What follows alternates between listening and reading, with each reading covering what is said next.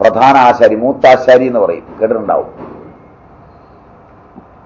അയാൾ പണിക്കിടയിലാണ് ബാക്കിയെല്ലാം നോക്കുന്നത്. എല്ലാ പണിക്കാരെയും നോക്കുന്നതും ഉടമയുമായി സംസാരിക്കുന്നതും പ്ലാന് തയ്യാറാക്കുന്നതുമൊക്കെ വേറെ വർക്കാണ്.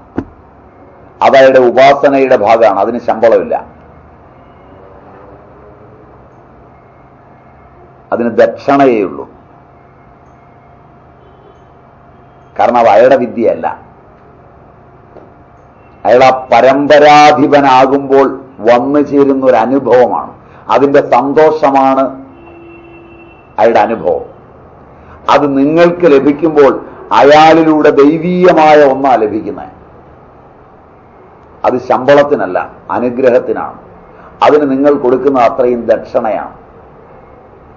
ബ്രാഹ്മണനായാലും ജാതിയിൽ ഉയർന്ന സവർണരാരായിരുന്നാലും തച്ചനെ കൊണ്ട് പണിയിപ്പിച്ചു കഴിഞ്ഞ് തച്ചൻ താക്കോൽ കൈമാറുമ്പോൾ കയ്യിൽ ദക്ഷിണ കൊടുത്ത് നമസ്കരിക്കുകയാണ് ചെയ്യുന്നത്. യു കാൺ ഫോളോ മനസ്സിലായില്ല. അവിടെ ജാതി നീച എത്തുമൊന്നുമില്ല അവനെ വളരെ ഉയരങ്ങളിൽ വിശ്വകർമാവിന്റെ പ്രതിരൂപമായി കണ്ടാ നമസ്കരിക്കുന്നു വിശ്വകർമാവല്ല മയനാണ് ശില്പശാസ്ത്രം രൂപപ്പെടുത്തിയിരിക്കുന്നതെങ്കിൽ കലഹം നിശ്ചയമാണ്. മയന്റെ ഗണിതത്തിൽ ഈ മൂന്നും ഒൻപതും പത്തും ഒന്നുമില്ല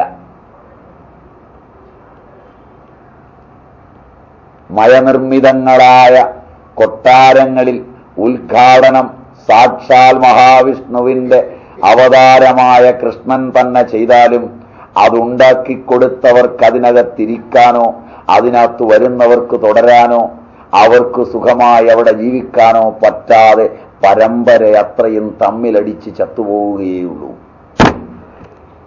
എന്ന് മഹാഭാരതം.